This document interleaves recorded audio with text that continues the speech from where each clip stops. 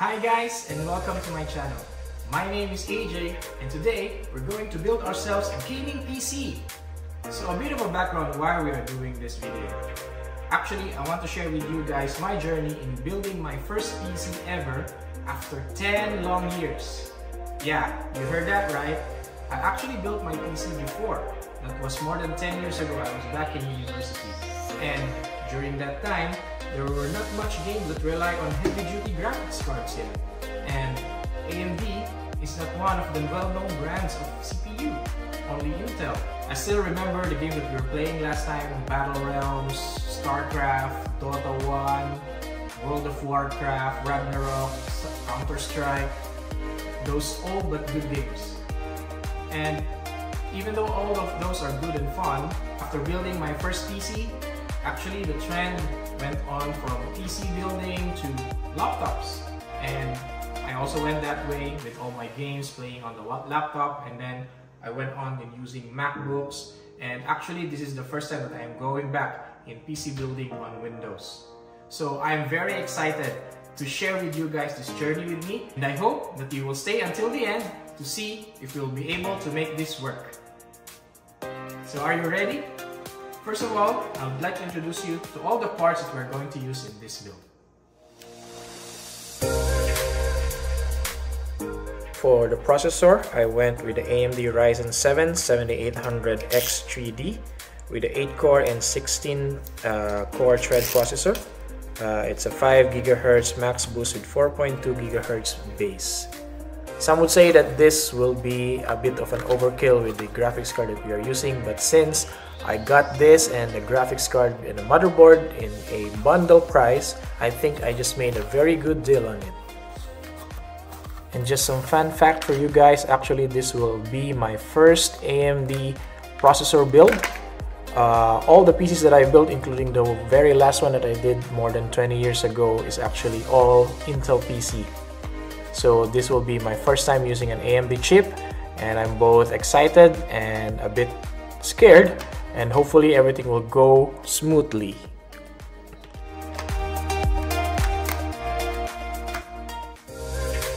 For the motherboard, I went with ROG Strix B650A gaming Wi-Fi. So it is a full ATX uh, motherboard that supports AM4 and AM5 chipsets and honestly speaking I really like the design of this motherboard and as you can see it really matches the aesthetics that we are trying to build here in our PC.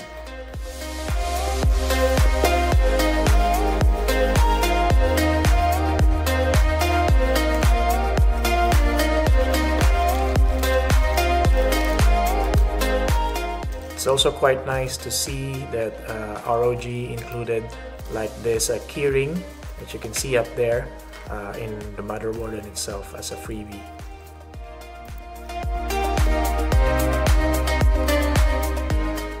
I also like the included stickers. I know I can put them somewhere.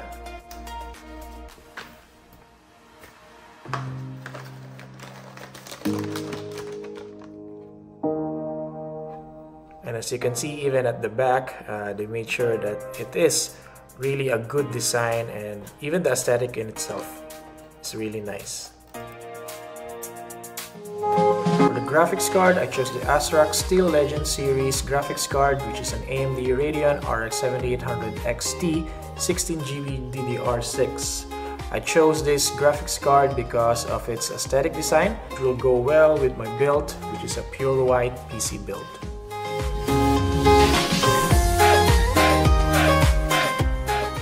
First, I was actually trying to look for the 7900 XTX or the 7900 XT because it has a, bigger uh, RAM size. But because this graphics card was actually on sale during that time, I think this was a great choice for this build.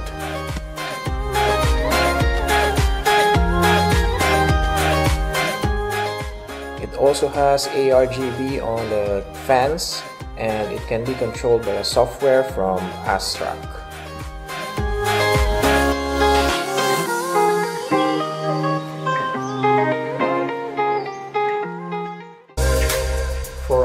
Main storage, I chose the T-Force uh, Cardea A4402 terabytes NVMe card. Uh, this is from Team Group.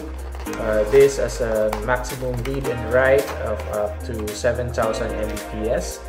And what's cool about is that since it includes a uh, heatsink uh, in the box, Actually, if you need a storage uh, extender for your PS5, this is also a very good choice.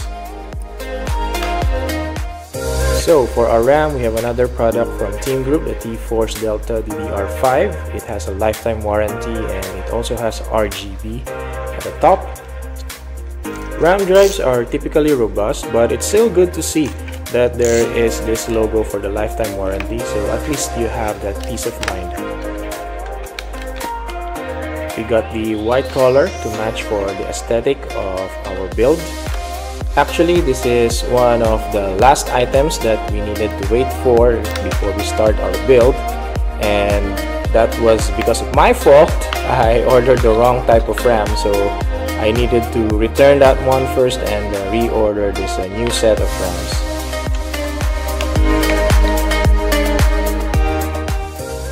For our main uh, cooling system that we will be using for our build, I went with the Deepcool LT720WH uh, AIO cooling fans.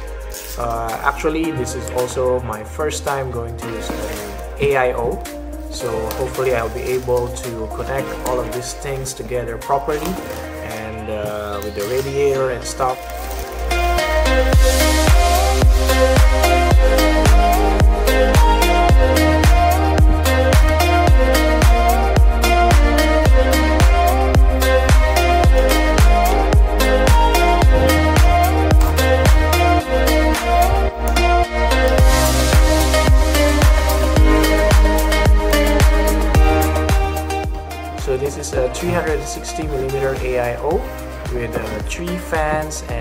Main pump or the head pump uh, also has an RGB lighting on it and it would look very nice inside our uh, white uh, PC case. The only thing is that uh, the fans in itself don't have any RGB lighting on it. But I think with our build, we have enough RGB to light up the whole inside of our PC case. And now for our power supply. I chose the Toughpower GF-A3 from Thermaltake with an 850 watts power and also it's a fully modular power supply.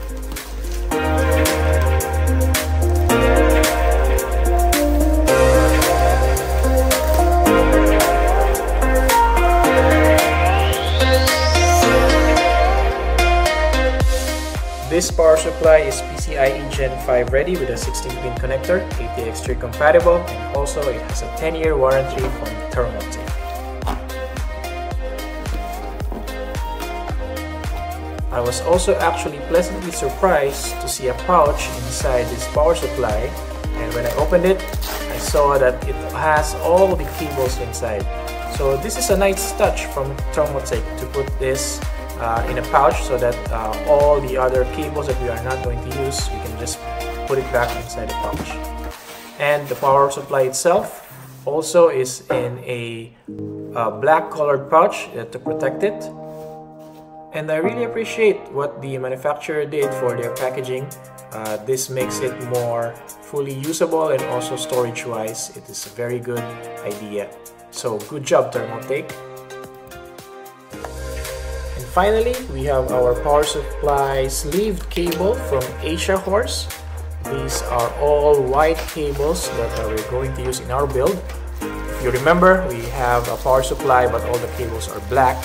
So I just bought this extension cable so that uh, we can use it and keep our theme aligned uh, with our white PC build.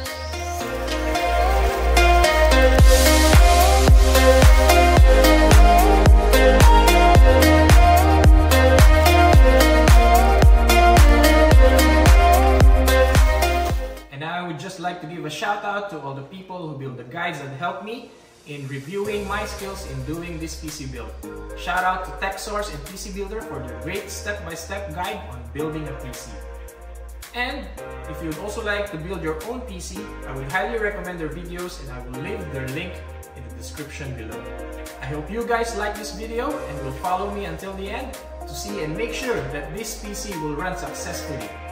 If you happen to like this video and you like the build that we're using today, I'll also leave all the links of the parts that I've used in the link and description below. So what are we waiting for? Let's start! First off, we need to prepare our motherboard and place it in a stable location. And the top of the box of the motherboard is one of the recommended places where you can work uh, with your motherboard.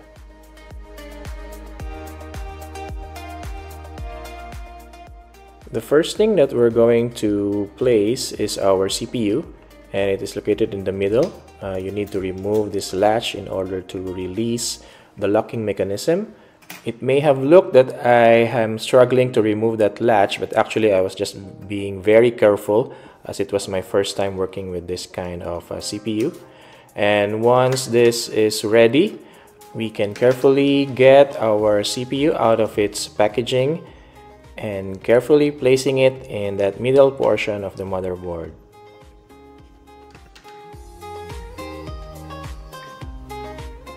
We need to be careful and make sure that the arrow on both the chip and the motherboard is on the same place before we carefully place our CPU in the middle.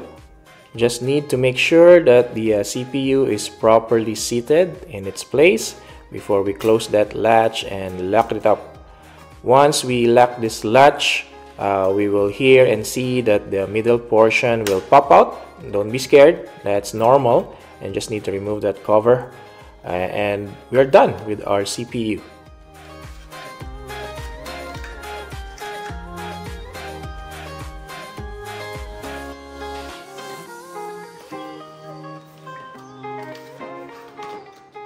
We will now proceed in uh, placing our RAM sticks. Uh, we have two of them. We need to make sure that we are placing it in the correct positions to be able to utilize the dual channel. You can check your motherboard manual uh, for the placement of the RAMs, but typically uh, it will be the second and the fourth slot uh, from your CPU. So as you can see here, I'm placing it first on the fourth slot and then afterwards I'll place it in the second slot. So just make sure that uh, there is a space in between. And if in your own build you're going to use 4 sticks of RAM, it is necessary to get uh, the same RAM type with the same memory and everything uh, so that it will not have any conflicts uh, with the motherboard and its operation.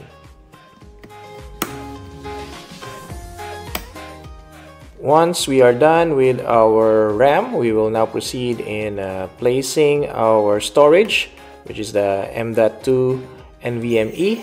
We just need to unscrew these covers and from here we'll be able to see where we can place our NVMe storage. In placing our memory stick, we just need to make sure that we align the latches.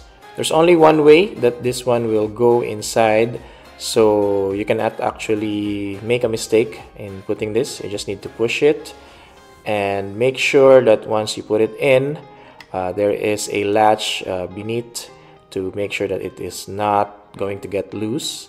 And once you're done with that uh, there is the sticker uh, at the back of the cover. Uh, this one is for cooling the uh, memory stick to dissipate the heat.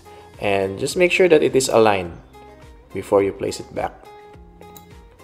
So you can see I'm uh, struggling a bit in placing it because of the sticker and because of my fat fingers.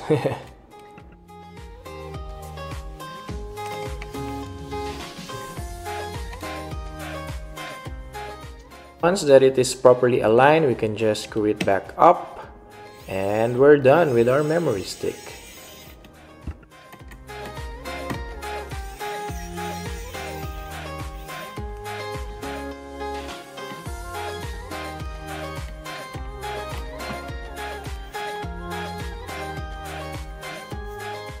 Now we are ready to put our motherboard in our uh, PC case. So the case that we are going to use is the Montech King 95 Pro.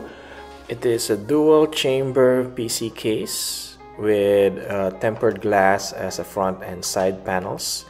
And if you are interested uh, in this PC case, I actually have a video of the unboxing for this PC case Link of this video is on the top right corner of your screen.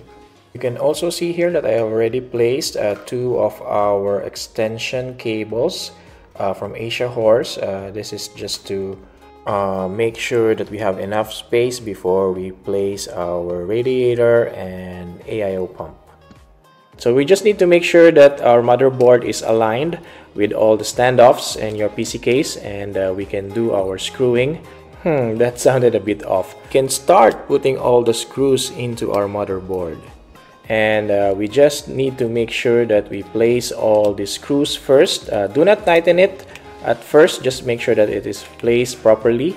Once you have put all the screws, around 9 of them, then you can start to tighten all the screws. Placing our PC case aside first, we need to prepare our AIO.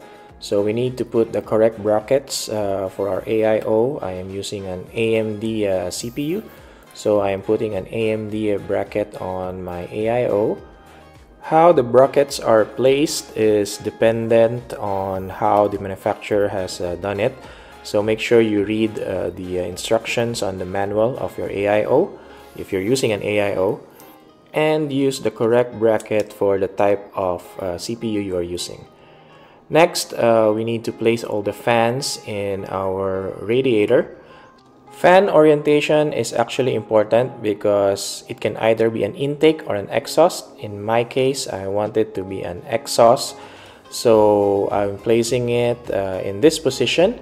Uh, there is actually some signs uh, in the uh, fan itself on where is the airflow going in and going out but just a general rule of thumb usually it is uh, face sucks it means that it is usually pulling air in from the uh, logo side of the fan so since I'm going to use this as an exhaust fan all of the fans are placed with the logo on the top side just be careful on screwing all of your fans in. You might face some issues if you accidentally punctured your radiator wall.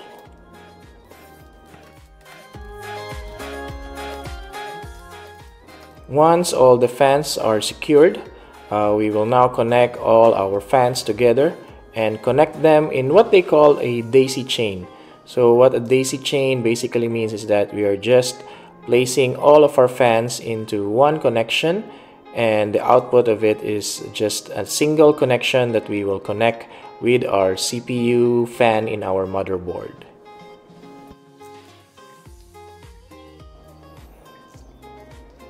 Before proceeding, we actually need to do one more thing. We need to remove the bracket uh, from our motherboard. This bracket is typically used for uh, normal CPU fans, but since we are using an AIO in this build, uh, we will be removing this bracket and uh, change it with the standoffs that are included in our AIO. Once you have removed the brackets, uh, it is uh, best practice to put these brackets back into your motherboard box so in case you want to sell off the motherboard uh, next time, you can still put those brackets back in place.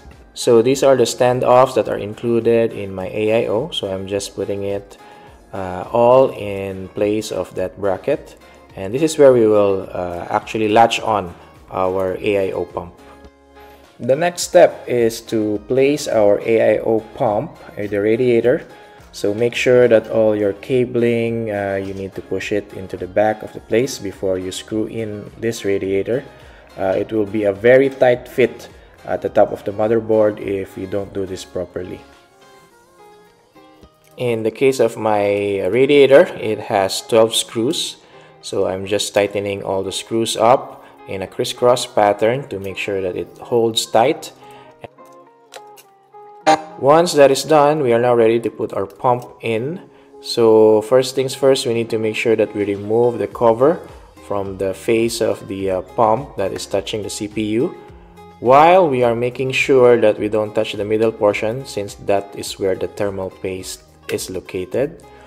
After that, place your pump on top of your CPU and attach all the screws uh, with the uh, standoffs that we have placed before and just make sure that it is tight and we just make sure that all the cables for our pump are neatly organized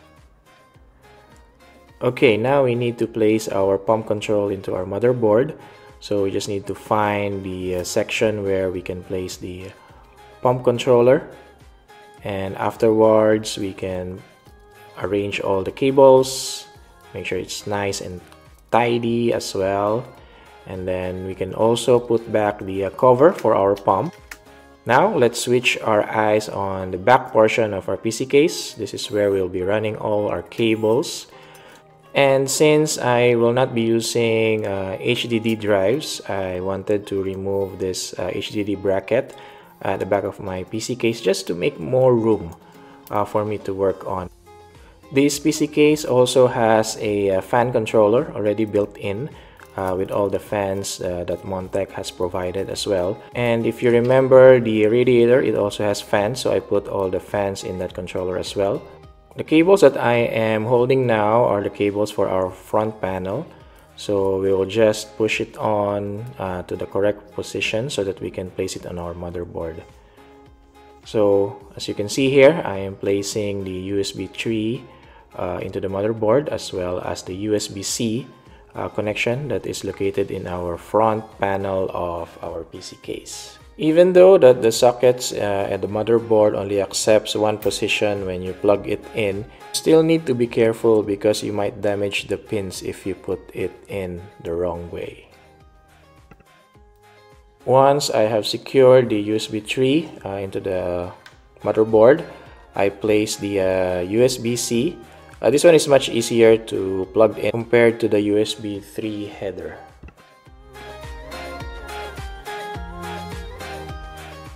Next, we need to plug in our audio for our front panel into the motherboard.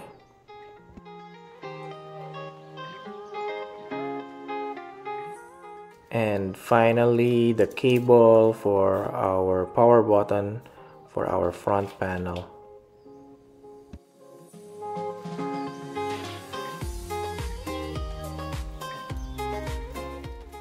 Now let's connect the uh, controller for our fans. Remember we have that fan controller at the back of our PC case. So we are just placing uh, this fan controller into our motherboard so that we can control it from our BIOS. And if your PC fans also has RGB like mine does, you also need to plug in uh, the RGB controller into the motherboard so that we can control the RGB for the fans on our BIOS as well. We are now ready to place our uh, PSU or our power supply uh, with all the cables at the back of our case. So this one will depend on uh, which type of components you have and for our build uh, we will be using the very typical ones uh, that we need to use like powering up the uh, CPU powering up the uh, GPU and as well as some power for our fans. Once I have all the cables in place I am now mounting the power supply at the back of my PC case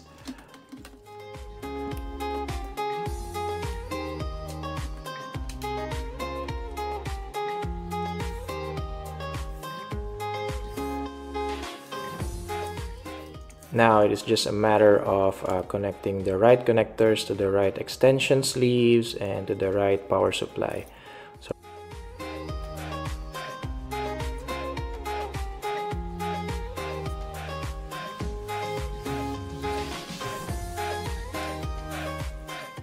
And in case you're wondering what the SATA power supply is for, uh, this is uh, for the uh, fan controller as you can see on the upper left portion of the case that is the fan controller and it's controlled by two uh, power supply for SATA. By the way if your motherboard is like mine as you can see I'm removing any stickers in the motherboard uh, because this might affect with the heat. So just make sure that all of those stickers in your component is removed. And, and now the final component for our build our GPU the Radeon RX 7800 XT so I'm removing all the plastic components actually there is a lot of plastic so I needed to make sure that I had removed everything because it may affect with the uh, heat dissipation of this uh, graphics card. So once uh, that is done, I removed the cover for the PCI and uh, proceeded in placing the GPU on the PCI slot. So make sure that you will hear the click uh, when you place the GPU. Uh, if you can see here, uh, there is a small click that I heard. I thought it's already secured in place, but when I started screwing it in, that's when I noticed that it is not pushed in entirely. I gave it one more big push until I hear that click. Then I proceeded to secure that GPU in place. Again guys, fat fingers in action.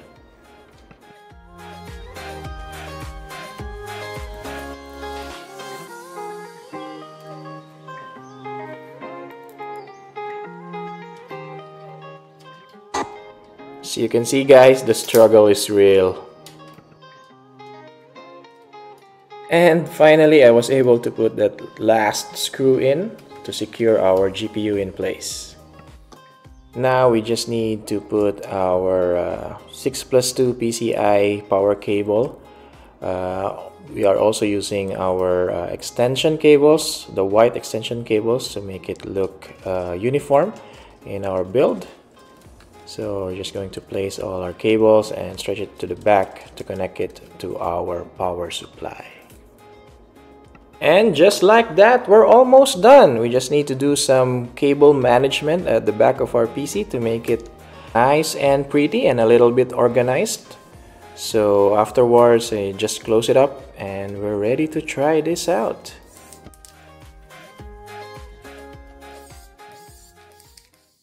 Okay guys, thank you for joining me until now in this video and now it's the moment of truth.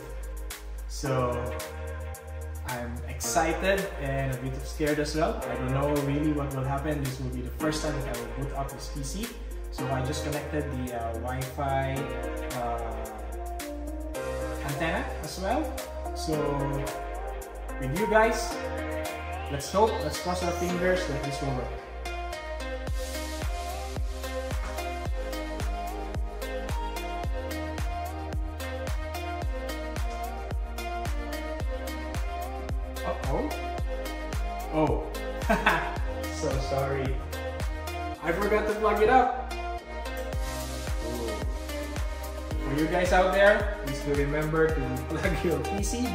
Try to start on. Actually, I was quite nervous when it didn't start up. Okay? So again, count with me guys. Let me see. There's the power button. Here we are.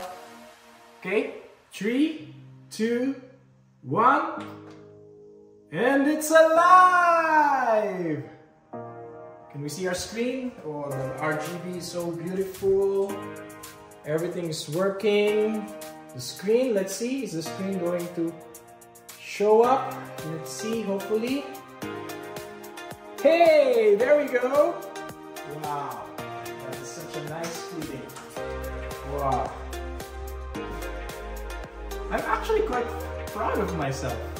I actually didn't know how this will turn out, but looks like everything is working. Uh, the RGB on the uh, uh, graphics card is working as well, and uh, all the RGB lights is working. And we can see uh, from the screen that we have the BIOS running. So, wow! Thank you guys for joining me, and it has really been a privilege for me to share this journey with you and I hope you learned something too and everything uh, that I used uh, in order to make this build and the videos that I used in order to support me uh, in guiding me in doing all this build I will leave it in the description below and don't forget to like this video and subscribe to my channel to see more of my content and if there is something that you want to ask me about this build, anything about this PC and what we have done here, you can leave it down in the comment section below. And of course, if you have any more suggestions, anything that you want me to look into and uh, anything that you want to see in this channel, also comment down in the section below. I would like to hear more of your thoughts on this. Thank you very much guys for watching and see you in the next one.